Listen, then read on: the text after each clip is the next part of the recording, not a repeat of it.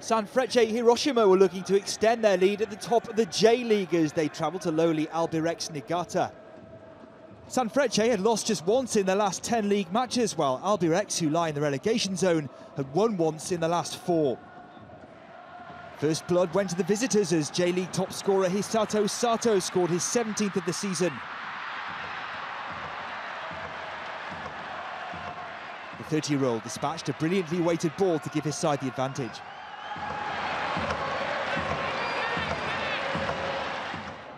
The home side tried to force an equaliser, but Brazilian Michael couldn't find the target. Niigata trailed at half-time and their situation didn't improve. The influential Sato this time set up Naoki Ishihara for his sixth of the campaign.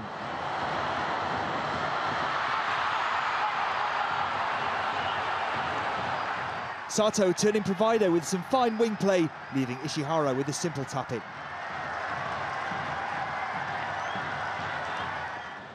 The visitors pressed for a third, but Ishihara's effort lacked power. It didn't matter as Sanfrecce held on for a comfortable win.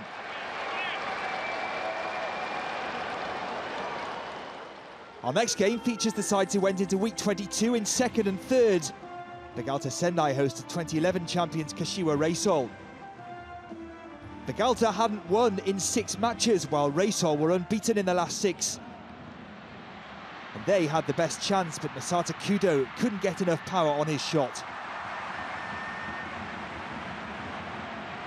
There were a few other opportunities and the spoils were shared. So Hiroshima extend their lead to four points over Sendai. Urawa Reds leapfrog Reysol into third after their 2-1 win over Kashima Antlers.